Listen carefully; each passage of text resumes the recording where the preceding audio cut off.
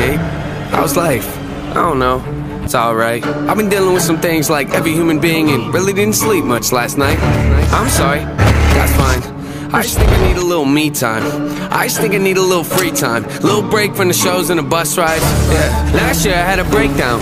Been making a whole lot of changes. Wrote a song about that, you should play it. I get scared when I walk on these stages. I look at the crowd and see so many faces. Yeah. That's when I start to get anxious. That's when my thoughts can be dangerous. That's when I put on my makeup and drown in self hatred. Forget what I'm saying and. The beat go?